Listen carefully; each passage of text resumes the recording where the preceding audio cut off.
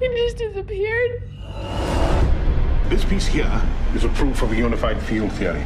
That alone is the holy grail of theoretical physics. The concept of a parallel universe, it's a theoretical abstraction. But to imagine that we have the technology to, to build a portal into a, an alternative universe and then move in and out of it, It gets better.